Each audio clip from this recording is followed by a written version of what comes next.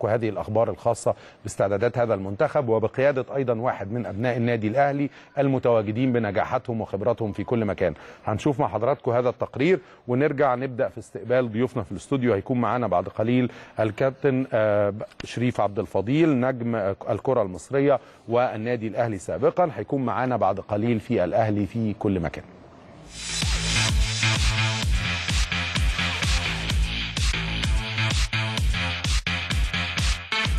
ساعة ما ابتدينا الشغل إحنا بنشتغل على طول. يعني كل يوم بروح الاتحاد بتابع الدوريات كلها. بسأل الأندية الدرجة الثانية على السن دوت. كان عندنا تجربة مفيدة جدا بطولة زامبيا اللي هي كوسافا. آه، شفنا على الواقع الوقت يعني اللعيبة عاملة إزاي. ال- القوة موجودة بشكل كبير جدا حتى موجودة دلوقتي في شمال أفريقيا. لعبت الماتشين مع تونس اتغلبنا هناك. القوه الجسمانيه موجودة عندهم اختياراتهم انتقائهم آه، بشكل جيد. آه، القوة موجودة فده اللي هنقابله في أفريقيا. آه، يمكن آه، مشوار زامبيا كان بالنسبة لي كانت حاجة جميلة جدا ليا واللعيبة. شافوا كل الظروف الأفريقية الأجواء الأمطار الملاعب التحكيم. آه، إحنا مش واخدين على يعني هم مش واخدين على مش هقول تحكيم وحش ولكن مش واخدين على طريقة التحكيم ده. عندنا التحكيم في مصر فيه شوية فيعني ليه ليه شكل؟ مش هقول وحش ولا حلو لكن ليه شكل؟ بتروح أفريقيا بتلاقي شكل تاني خالص. فلازم اللعيب من الماتشات الدولية ياخد خبرة من اللي شفناه. الفترة الجاية إن شاء الله في شهر ثلاثة هيكون عندنا ماتشين دوليين يعني احتمال لسه كاب- بنخاطب آه، عندنا المغرب نيجيريا. في كذا عرض إن شاء الله نتمنى يعني نوفق في العرض اللي إحنا يعني أو المباراتين اللي إحنا نقدر نلعبهم ويكون في استفادة قوية للاعبين.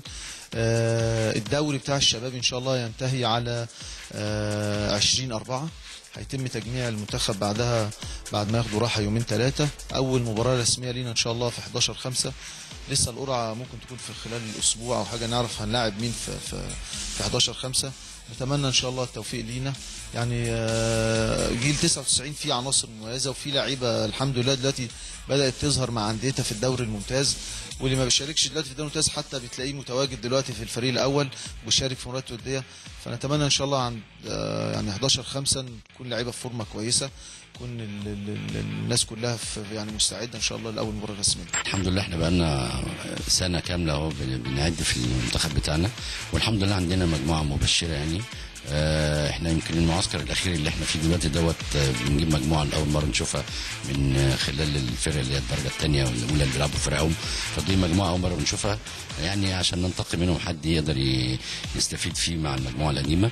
فالحمد لله إحنا عملنا فترة ماتشات ودية من بداية السنة اللي فاتت يعني ونهيناها ببطولة زامبيا الودية. والحمد لله حصلنا على المركز الثالث فيها.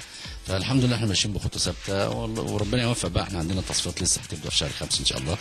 أول ماتش لينا هيبقى يوم 11 أو 12 أو 13 والماتش العودة يا 19 يا 20 21 لسه طبعا لسه ما اتحددتش الفرق اللي- يعني لسه هنشارك معاها يعني.